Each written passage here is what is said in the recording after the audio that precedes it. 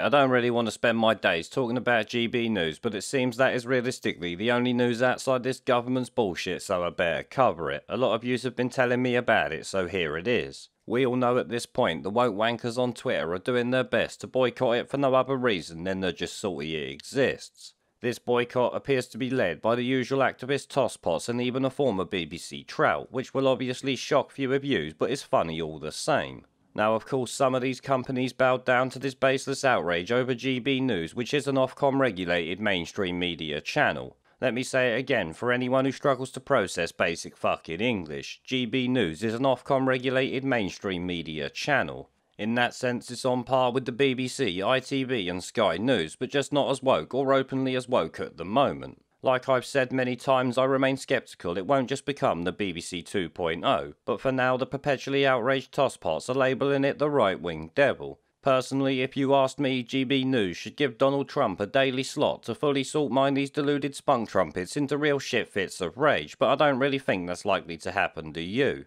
But as I said, some have now boycotted ads on the channel, while others said they would review them, but funniest of all is the fact that some are now backtracking on their original stance likely due to the backlash by you guys who in return decided you would stop buying their products. Companies will often do this because, as I've said, and most of you know, money talks and bullshit walks, or in this case, woke bullshit walks, because one advertiser even said they would increase ads on the channel after positive returns from the few ads that they have done. Calling GB News a breath of fresh air because people are actually sick to death of the BBC Sky News, Channel 4, and all the rest of these snivelling shit weasels. Now this will naturally bring out lots of salty tears on Twitter, which is of course is always fun to laugh at as you know. Shit, I was actually laughing at a couple of them while I was sorting out a video talking about the government's backtracking and possibly allowing VIPs to enter the country. Seeing some of the salty fuckpigs crying their eyes out over this certainly made dealing with that a lot more fun.